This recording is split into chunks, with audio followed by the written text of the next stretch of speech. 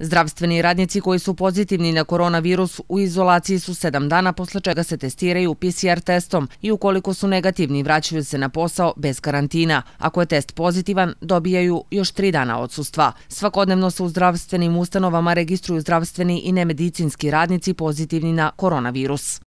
Od zdravstvenih radnika danas imamo pozitivno 8 medicinskih sestara, 3 lekara i jednog nemedicinskog radnika. Imajući u vidu da smo otprilike u nekom vrhu talasa, ovo je po meni mali broj radnika, imajući u vidu da opšta bolnica ima 658 izvršioca.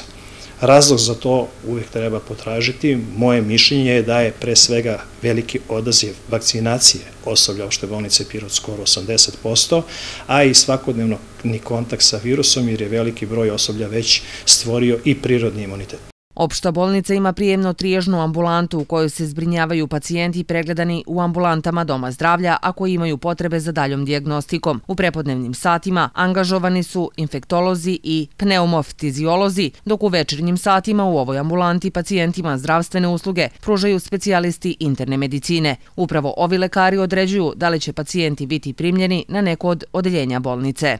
Nadalje, svi koji se budu primili na odalenje idu u dve COVID jedinice, te imamo 15 lekara trenutno i 46 sestara. Na odelenju jutros je bilo 28 bolesnika, od toga samo jedan na high flow. U ovom talasu je primetno da je klinička slika blaža, smrtnost je e, manja i i dalje je evidentno da je veći broj e, hospitalizovanih nevakcinisanih pacijenata. Prema rečima doktora Petrovića, u crvenoj zoni bolnica ima 48 kreveta, dok su ostala odeljenja u zelenoj zoni. Na operaciju katarakte čeka 10 pacijenata. Nema liste čekanja za operacije kuka i svi operativni i hiruški zahvati se rade svakodnevno iz nedelju u nedelju, rekao je za televiziju Pirot dr. Goran Petrović.